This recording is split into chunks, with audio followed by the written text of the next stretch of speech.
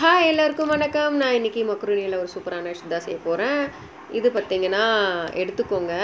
குக்கரில் வச்சுக்கோங்க. அது முழுகிற அளவுக்கு தண்ணி ஊற்றி ஒரு மூணு விசில் விட்டுக்கோங்க. தேங்காய் பால் அரைச்சி ரெடியாக எடுத்து வச்சுக்கோங்க. ஏலக்காய் போட்டுருங்க. பாருங்கள் பாஸ்தா வந்து இந்த அளவுக்கு வெந்திருக்கணும். அடுத்தது வந்து அந்த குக்கர்லேயே பார்த்தீங்கன்னா தேங்காய் பால் ஊற்றி ஒரு அஞ்சு நிமிஷம் கொதிக்க விடுங்க. நீங்கள் கொதிக்க வைக்கிறதுனால அந்த தேங்காய் பால்லாம் அந்த மக்ருனியில் ஊறிடும். சூப்பரான ஒரு மக்ரூனி ரெடி ஆகிடுச்சு நீங்கள் ட்ரை பண்ணி பாருங்கள் ஓகே தேங்க்யூ பாய்